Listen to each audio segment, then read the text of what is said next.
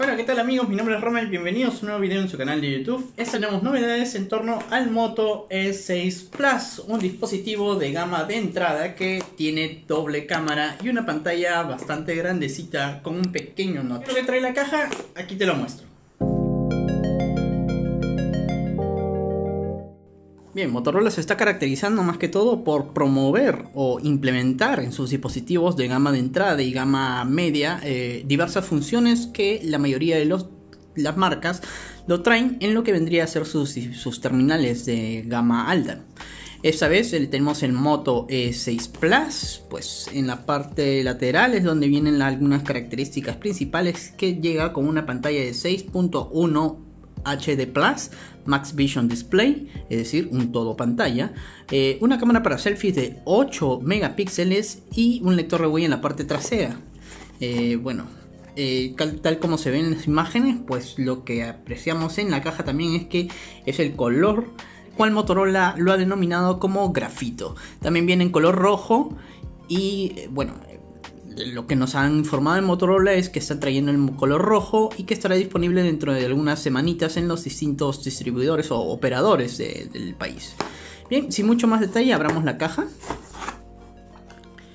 Lo primero que encontramos es el dispositivo eh, de 6.1 pulgadas de pantalla, que es bastante ligerito. Viene con doble cámara de 13 megapíxeles y 2 megapíxeles. Además de eso viene con un case de regalo. O sea, tienes que estar preocupando por proteger tu equipo desde el primer día de uso. Eh, viene con una batería de 3000 mAh y un procesador 2.0 GHz octa-core. Eh, este dispositivo pues trae una batería externa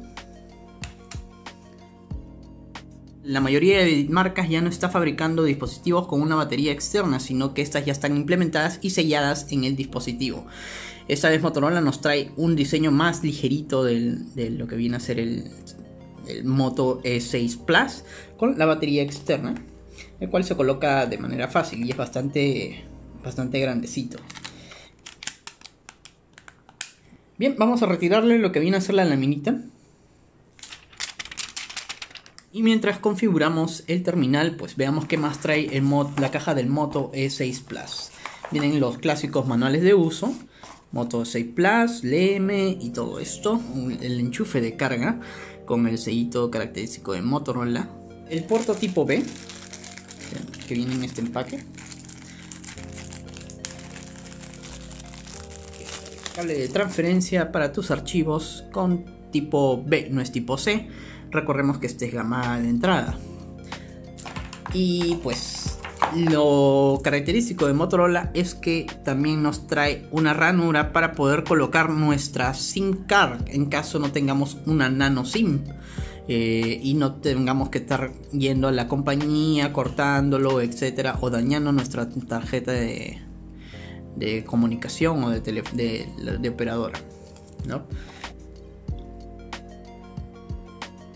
Una vez configurado el equipo, lo que tenemos prácticamente es un dispositivo con Android 9 Pie y que viene con 32 GB de almacenamiento interno. El sistema operativo ocupa alrededor de 6.31 GB, de lo que vendría a ser el 20% del dispositivo o del almacenamiento ocupado. Eh, como ya había mencionado, pues viene con Android 9 Pie. Viene con Android 9 Pie y asimismo viene con 2 GB de memoria RAM. Eh, una característica también es que puedes expandir tu memoria interna con una micro SD hasta 256 GB o 512 GB, no recuerdo exactamente el dato, pero igual te lo dejo en la descripción del video. La grabación se registra en 1080 megapíxeles. La parte trasera, pues como ya había mencionado, es el grafito. Vamos a limpiarlo un poquito. Hay que tener un poco de cuidado con este sistema porque, vamos, el case eh, se puede rayar con facilidad. Es por eso que nos dan este, el case de regalo de plástico de silicona. La doble cámara también en la parte trasera y el detector de huella. Bien, estaré probando el dispositivo durante estas semanas. Yo ya configuré mi huella dactilar y no te pierdas mi evaluación final sobre el Moto E6 Plus que ya se empezó a vender en nuestro país. Hasta la próxima.